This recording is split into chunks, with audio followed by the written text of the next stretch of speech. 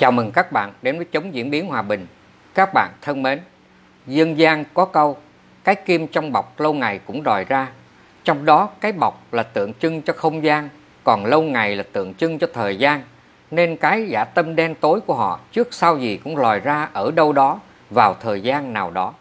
Vì thế, trên mặt báo, ở cơ quan, họ có thể vẫn là những nhà báo đỏ xịn, có uy tín, có vị thế, có quyền lực, được vinh danh, ca ngợi, tung hô, nhưng ở phía sau tòa soạn, ở giữa đời, ở trên mạng xã hội, họ có thể là những kẻ tha hóa, vô đạo đức, đỏ vỏ xanh lòng, cơ hội, đê tiện, bị khinh bỉ, bị nguyền rủa, bị lên án, bị tẩy chay. Trong trường hợp này, cơ quan, đơn vị chủ quản, lãnh đạo của họ dễ gì thấy nếu như họ quan liêu, thờ ơ, bàn quan, thiếu trách nhiệm.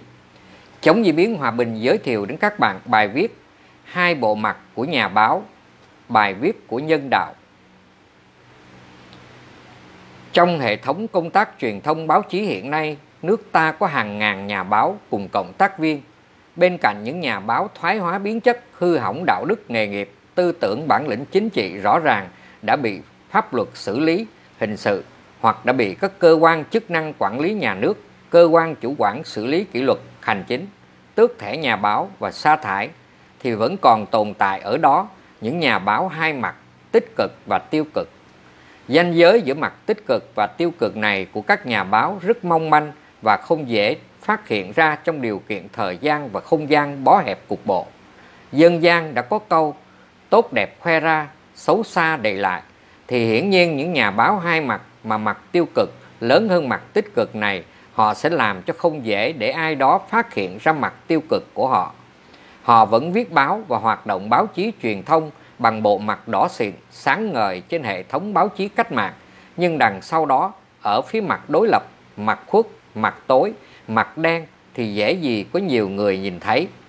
Tuy nhiên, dân gian cũng có câu, cái kim trong bọc lâu ngày cũng lòi ra, trong đó cái bọc là tượng trưng cho không gian, còn lâu ngày là tượng trưng cho thời gian, nên cái giả tâm đen tối của họ trước sau gì cũng lòi ra ở đâu đó vào thời gian nào đó. Vì thế, trên mặt báo, ở cơ quan, họ có thể vẫn là những nhà báo đỏ xịn, có uy tín, có vị thế, có quyền lực, được vinh danh, ca ngợi, tung hô, nhưng ở phía sau tòa soạn, ở giữa đời, ở trên mạng xã hội, họ có thể là những kẻ tha hóa, vô đạo đức, đỏ vỏ xanh lòng, cơ hội, đê tiện, bị khinh bỉ, bị nguyền rủa, bị lên án, bị tẩy chay. Trong trường hợp này, cơ quan đơn vị chủ quản, lãnh đạo của họ dễ gì thấy nếu như họ quan liêu, thờ ơ, bàn quan, thiếu trách nhiệm. Để hiểu về một con người thì không thể đặt con người đó chỉ trong một mối tương tác quan hệ xã hội một chiều, đơn lẻ, phiến diện, chủ quan duy ý chí mà phải đặt họ trong một sự tổng hòa, va đập của mọi đối mối tương tác quan hệ xã hội. Tất nhiên sẽ chẳng có ai, chẳng có cơ quan tổ chức quản lý nhà nước nào có thể quản lý được hết thảy. Những điều này của một nhà báo. Và vì thế cũng đừng có ai phủ nhận vai trò đánh giá của dư luận xã hội nói chung và dư luận mạng xã hội nói riêng trong cái thời đại công nghệ 4.0. Tôi nhớ trước đây có bà tiến sĩ khoa học Đoàn Hương đã lên tiếng trên VTV để phê phán, dè biểu, xem thường mạng xã hội Facebook. Và bà ta còn chê bai, khinh thường những người chơi Facebook thì tôi thấy bà tiến sĩ khoa học này có sự nhận thức và hiểu biết hết sức ngu xuẩn. Bà ta đã nhìn nhận con người, sự vật hiện tượng bằng thứ tư duy thiển cận, hạn hẹp, một phía, chủ quan, duy ý chí, bó hẹp về không gian và thời gian. Những hạng giáo sư tiến sĩ kiểu như thế, tôi luôn nhìn bằng nửa con mắt. Tôi không bao giờ phục họ, mặc dù tôi cũng chẳng là gì cả. Ấy thế mà giờ đây, báo chí họ từ thưởng tượng, rồi họ tung hô, đánh bóng, lăng xê tên tuổi cho nhau bằng những bài báo vô bổ, hữu danh vô thực mà họ lại nghĩ rằng họ có thể lừa mị, dắt mũi được dư luận xã hội thì quả thật là họ quá ảo tưởng và ngáo đời rồi.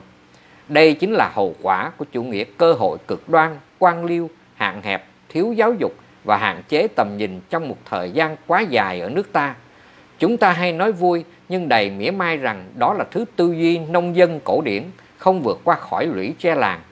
Cái thời tự vỗ ngực xưng danh, khoe khoang quan hệ, khoe khoang thành tích, vị thế, vị trí, tiền của đã xưa lắm rồi. Đời sống xã hội là một biểu đồ hình xin thể hiện sự lên xuống thăng trầm, thịnh suy, chứ không phải là một mặt phẳng. Vì thế, những kẻ thích khoe khoang, khoe mẽ, háo danh, ham lợi, đích thị là những kẻ đã lỗi thời và nó sẽ tự hủy hoại, hủy diệt chính bản thân nó chứ không phải do ai khác.